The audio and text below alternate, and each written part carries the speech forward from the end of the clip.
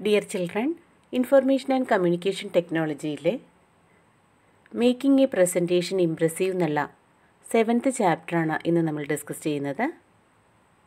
Presentation attractive ആക്കുന്നതിന് സഹായിക്കുന്ന software ആണ് Libre Office Impress Libre Office Impress കഴിഞ്ഞ വർഷം നിങ്ങൾ ചെയ്തിട്ടുള്ളതാണ്.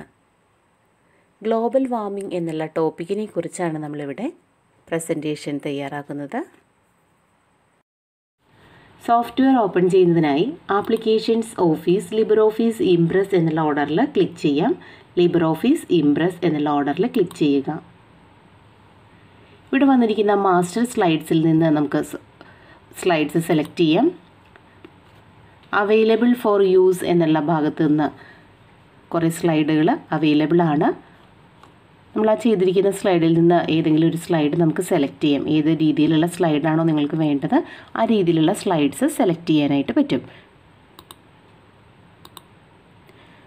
ഇവിടെ ലേ ഔട്ടുകളുണ്ട് ലേ ഔട്ടിൽ നിന്നും സ്ലൈഡ്സ് സെലക്ട് ചെയ്യാം.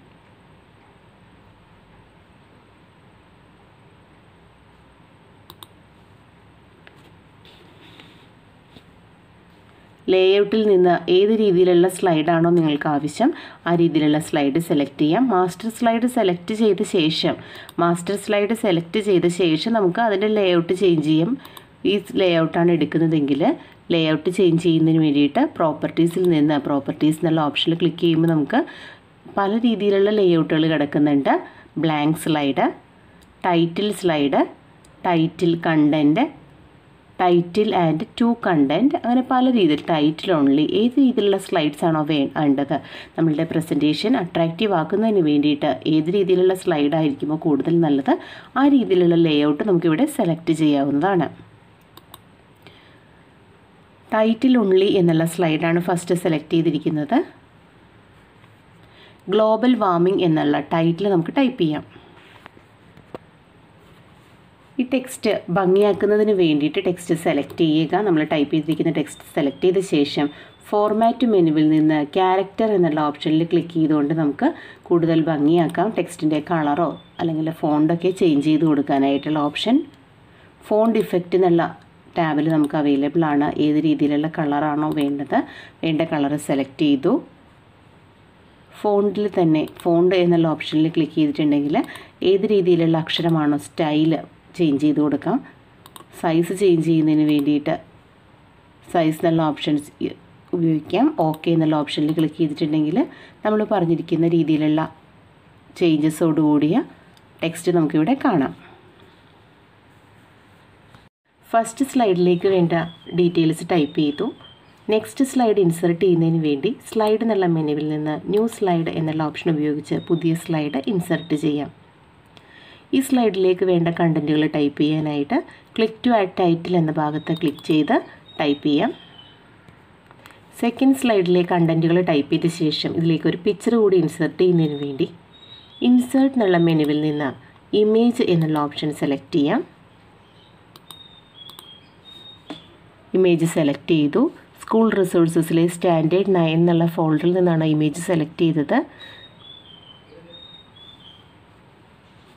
ഓപ്പൺ എന്നുള്ള ഓപ്ഷനിൽ ക്ലിക്ക് ചെയ്യാം. ഇമേജ് സൈസ് അഡ്ജസ്റ്റ് ചെയ്യുന്നതിന് വേണ്ടി ക്ലിക്ക് ചെയ്ത് ഡ്രാഗ് ചെയ്യാം. അപ്പോൾ ഈ ടെക്സ്റ്റിന്റെ മുകൾ ഭാഗത്തായിട്ടാണ് നമ്മളുടെ ഇമേജ് വന്നിരിക്കുന്നത്. ഇമേജിനെ അറേഞ്ച് ചെയ്യുന്നതിന് വേണ്ടിയിട്ടാണ് നമ്മളുടെ ആക്ടിവിറ്റി സെവൻ ടു ആണ്. Let's include and arrange a picture എന്നുള്ളതാണ് നമ്മളുടെ activity seven two. Activity seven two ആണ്. പിക്ചർ സെലക്ട് ചെയ്യുക.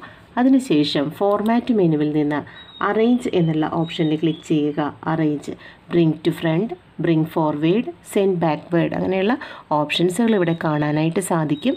സെൻഡ് ടു ബാക്ക് എന്നുള്ള ഓപ്ഷൻ ക്ലിക്ക് ചെയ്തിട്ടുണ്ടെങ്കിൽ നമ്മൾക്ക് ഈ പിക്ചർ ബാക്ക്ഗ്രൗണ്ടിലായ രീതിയിൽ അല്ലെങ്കിൽ പിക്ചർ ഈ ടെക്സ്റ്റിന്റെ ബാക്ക്ഗ്രൗണ്ടിൽ അറേഞ്ച് ചെയ്യാനായിട്ട് സാധിക്കും.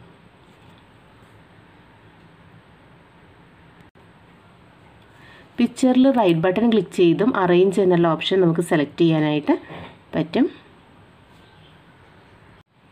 പ്രസന്റേഷനിലേക്ക് വീഡിയോ ഫയൽ ഇൻസേർട്ട് ചെയ്യുന്നതിനായിട്ട് വീഡിയോ സെലക്ട് വരേണ്ട ഭാഗം സെലക്ട് ചെയ്യുക. വീഡിയോ ഇൻസേർട്ട് ചെയ്യേണ്ട സ്ലൈഡ് സെലക്ട് ചെയ്യുക. ഇൻസേർട്ട് എന്നുള്ള മെനുവിൽ നിന്ന് ഓഡിയോ ഓർ വീഡിയോ എന്നുള്ള ഓപ്ഷൻ സെലക്ട് ചെയ്യുക. സ്കൂൾ റിസോഴ്സസിൽ സ്റ്റാൻഡേർഡ് നയൻ എന്നുള്ള ഫോൾഡറിൽ ഗ്ലോബൽ വാർമിങ്ങിന്റെ ഒരു വീഡിയോ ഉണ്ട്. ഗ്ലോബൽ വാമിംഗ് എന്നുള്ള വീഡിയോ സെലക്ട് ചെയ്യുക. ഓപ്പൺ എന്നുള്ള ഓപ്ഷനിൽ ക്ലിക്ക് ചെയ്യുക.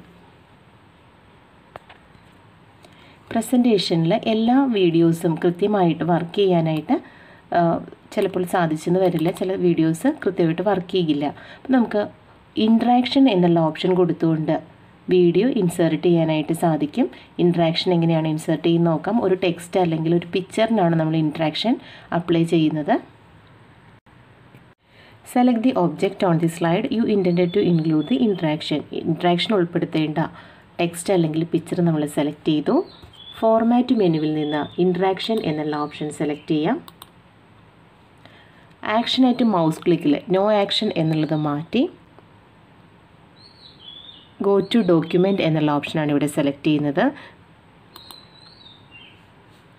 ബ്രൗസ് എന്നുള്ള ഓപ്ഷനിൽ ക്ലിക്ക് ചെയ്തുകൊണ്ട് നമ്മളുടെ വീഡിയോ ഫയൽ സെലക്ട് ചെയ്യുക.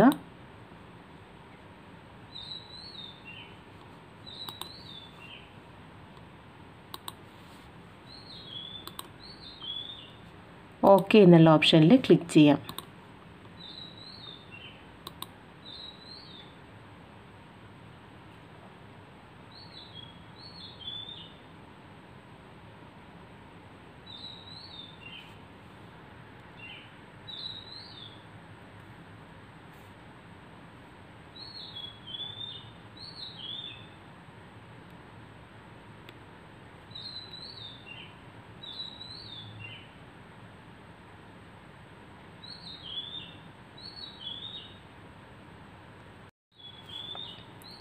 ഇൻസേർട്ടിൽ നിന്ന് ഓഡിയോ ഓർ വീഡിയോ എന്നുള്ള ഓപ്ഷൻ ഉപയോഗിച്ചതുപോലെ തന്നെ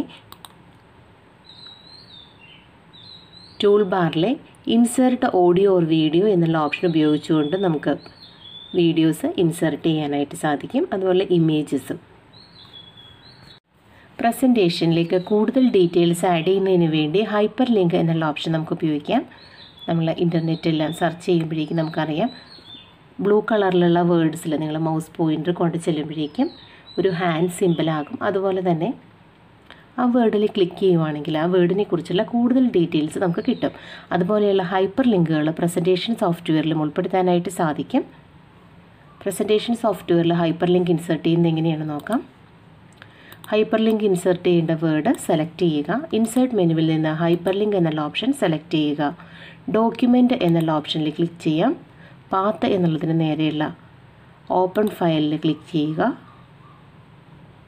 ഇപ്പം ഞാനിവിടെ ഒരു ഇമേജസിലേക്കാണ് ഇവിടെ ലിങ്ക് കൊടുക്കുന്നത്. ഇമേജസ് എന്ന് പറയുന്ന ഈ ഫോൾഡറിലേക്കാണ് ഇവിടെ ലിങ്ക് കൊടുക്കുന്നത്. ഓപ്പൺ അപ്ലൈ കൊടുക്കുക. അതിനുശേഷം ക്ലോസ് ചെയ്യാം. ഇനി ഇം മോർ ഇമേജസ് എന്നുള്ള വേർഡ് പിക്ചറിൽ ഈ വേർഡിൽ നമ്മൾ ക്ലിക്ക് ചെയ്യുമ്പോഴേക്കും കൂടുതൽ പിക്ചേഴ്സ് നമുക്ക് കാണാനായിട്ട് സാധിക്കും.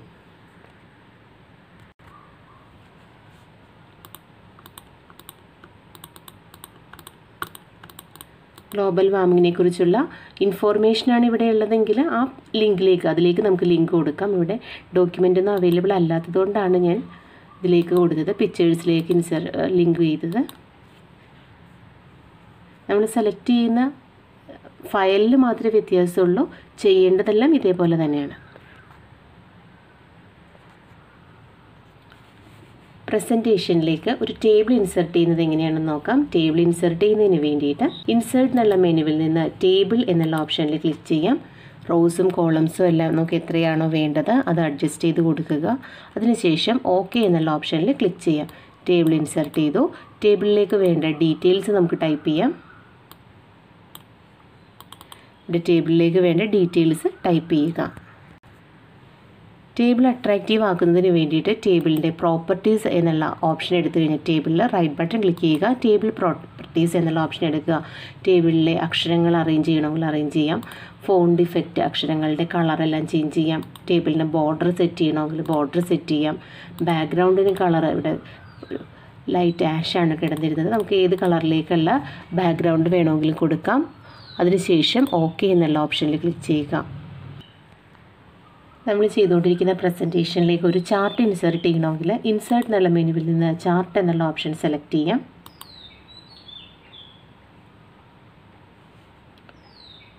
ഇവിടെ ചാർട്ടിന് ടൈറ്റിൽ അഡ്ജസ്റ്റ് ചെയ്യാം ലെജൻഡ് ഓൺ ഓഫ് ചെയ്യാം ഹൊറിസോണ്ടൽ ഗ്രിഡിനെ കുറിച്ചുള്ള വെർട്ടിക്കൽ ഗ്രിഡ് ഇതെല്ലാം അഡ്ജസ്റ്റ് ചെയ്യാനായിട്ട് അതിന്റെ പ്രോപ്പർട്ടീസ് ഇവിടെ അവൈലബിൾ ആയിട്ടുണ്ട്.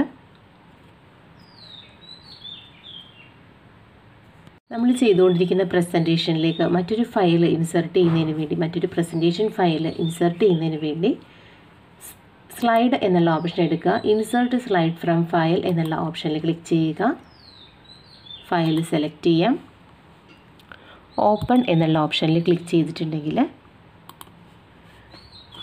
മറ്റൊരു ഫയലിലെ ഡീറ്റെയിൽസ് കൂടി നമ്മളുടെ ഈ ഫയലിലേക്ക് ആഡ് ചെയ്യാനായിട്ട് സാധിക്കും.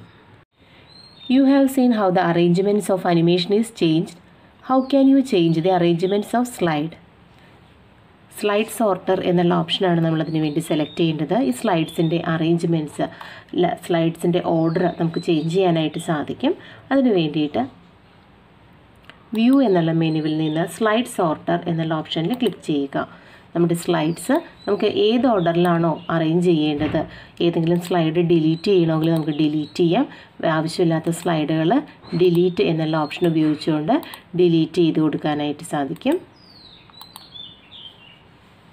ആവശ്യമുള്ള സ്ലൈഡുകൾ മാത്രം വയ്ക്കുക ഏതെങ്കിലും സ്ലൈഡിന്റെ ഓർഡർ മാറ്റണമെങ്കിൽ ഇങ്ങനെ ക്ലിക്ക് ചെയ്ത് നമുക്ക് അങ്ങോട്ടേക്ക് ഡ്രാഗ് ചെയ്ത് കഴിഞ്ഞിട്ടുണ്ടെങ്കിൽ സ്ലൈഡ്സിന്റെ ഓർഡർ അറേഞ്ച് ചെയ്യാനായിട്ട് സാധിക്കും.